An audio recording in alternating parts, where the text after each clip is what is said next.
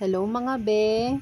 Gawa tayo ng minatamis na saging na may buko at sago na pang negosyo.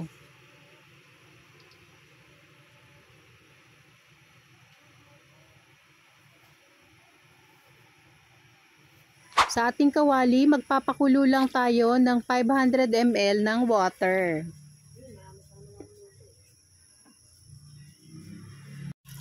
Ito po ay medium na sago, 1/4. Binabad natin ito ng magdamag. Tips lang po, mas madali pong lutuin ang ating sago kapag binabad muna natin ito. Kapag mainit na po ang ating tubig, maaari na natin nilagay ang ating sago. 3 to 5 minutes ko lang po itong isasalang. Sinalang natin ito sa medium heat. At kapag nag-translucent na po ang ating sago, maaari na nating patayin ang ating apoy. Ita-transfer natin ito sa bowl na may malamig na tubig para hindi po ma-overcook yung ating sago. At ang next naman ay magluluto tayo ng minatamis na saba. Gagamit po tayo ng isang piling ng saging. Kung gusto nyo po ng ganitong mga video, please like and subscribe to our YouTube channel. Thank you and God bless.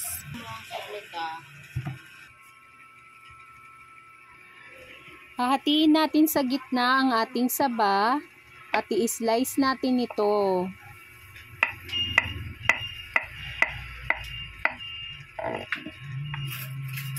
At kapag na-slice na natin lahat, Isasalang na po natin ito.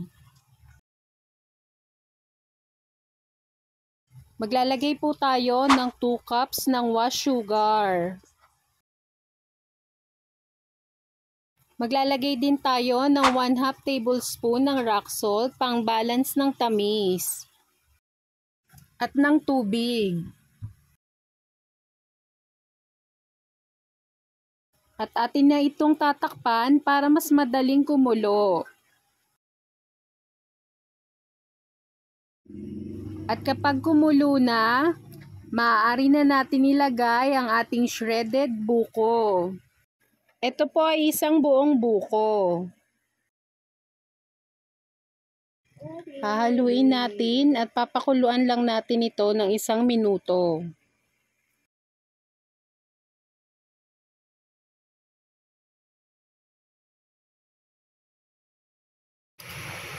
At ang last, maaari na natin ilagay ang ating sago.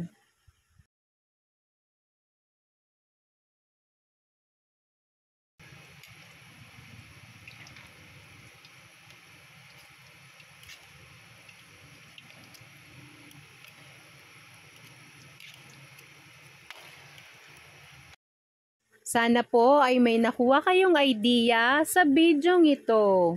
Please like and subscribe to our YouTube channel. Thank you and God bless. Kapag kumulo na, maaari na nating patayin ang ating apoy at palalamigin muna natin.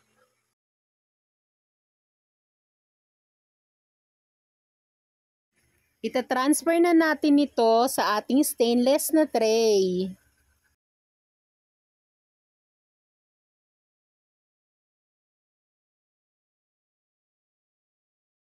At i-display na natin sa ating istante para maging aware po ang ating mga customer na available na sa atin ang saging kunyelo with buko na may sago. Para po sa mga nagtatanong kung kamusta na po yung freezer namin, okay naman po siya, in good condition pa naman po at malakas po itong magyelo. Pag ganun sa eh. Lagyan ko yung di ba? Then, Ipapakita ko po kung paano ko po ina-assemble ang ating saging kunyelo. So yan, nag-rush na po tayo ng ice at gagamit po tayo ng paper cup. 8 ounce po ito.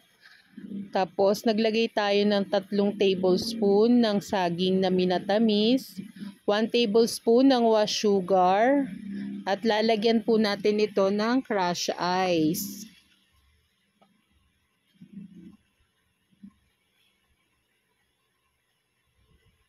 Ayan. After nyan po, maglalagay naman tayo ng evaporated milk. 3 tablespoon po ito.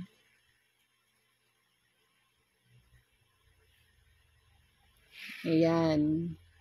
Tapos, maglalagay naman tayo ng toppings. At ang last, yung condensed milk po. Pwede rin po kayo gumamit ng dulce de leche.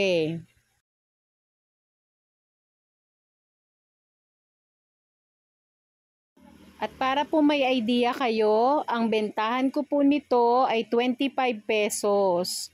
Depende pa rin po ito sa inyong puhunan.